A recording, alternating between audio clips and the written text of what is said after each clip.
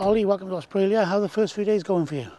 Yeah, they've been uh, very good. Moved into a house with uh, a couple of boys from North Wales, RGC, so settling in okay. It's been tough, tough first few days with fitness and stuff, but enjoying it so far.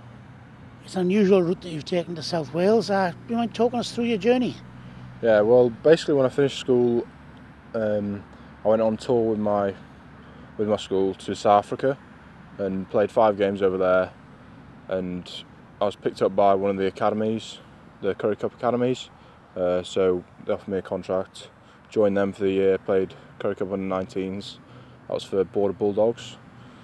And then I came back and I'd been hearing from RGC in North Wales uh, with Rupert Moon. He was emailing me whilst I was in South Africa. So uh, I went down, and trialled there. That was good setup, really good development uh, region. So I joined them, played games in the championship, and from there was lucky enough to play for Wales under 20s in the last game of the Six Nations, and then go over to New Zealand for the World Cup. And off the back of my games there, I think here I am at Ospreys. That's quite a journey for such a young man and quite an achievement after only a few months in Wales to establish yourself as the first choice at six for Wales in the Junior World Championships. You must be proud of that. Yeah, I'm really pleased with uh, the way things went when I got back.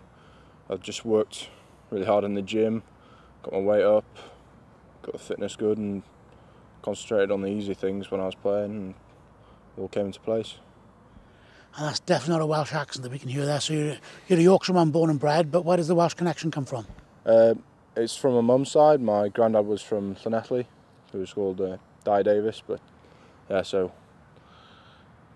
so I've uh, come using uh, using that background. And have the coaches had a chat with you since you arrived about what they want to see from you now this season as an Osprey?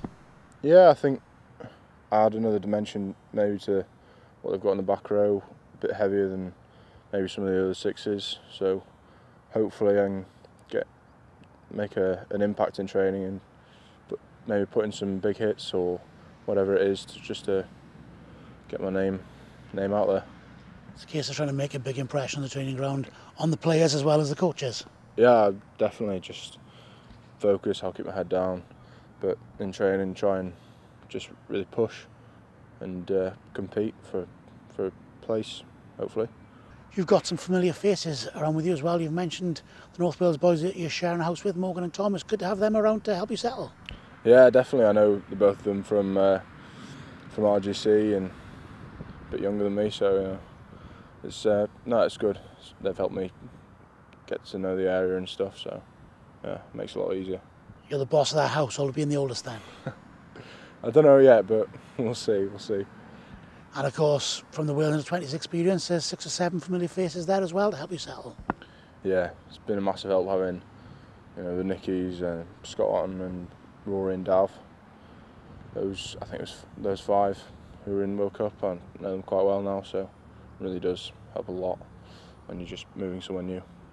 And of course, you'll be well aware that the sun always shines like this in Ospreylia, so it's a nice place to be. yeah, definitely. Let's hope the weather stays like this for a while. Could get used to it.